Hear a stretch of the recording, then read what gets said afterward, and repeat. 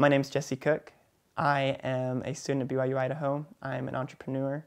Matt and I, we had been going to all these events and things promoting our uh, clothing business, Kabora, and we realized that there was this kind of rift between businesses. We were like, man, that company gave them a snowboard, and all they get is just like a shout out. And so what we were wanting to do is kind of give businesses more bang for their buck. And we wanted to really connect those businesses with their fans and let the fans kind of get a better idea of what those businesses were about. We solved for subscribers because, you know, any good idea fixes something.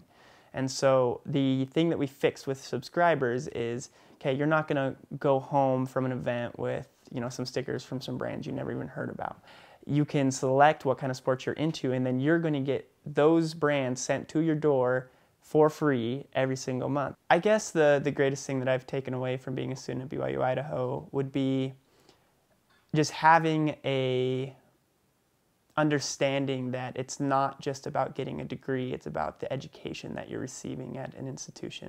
I didn't want to go to school just to do busy work to put in my time and get a piece of paper that I could show to an employer. I wanted to go and I wanted to get education that essentially would change who I am and what I know. I think it's a better use of my time to kind of improve the things that I would not have improved if I hadn't been going to BYU Idaho.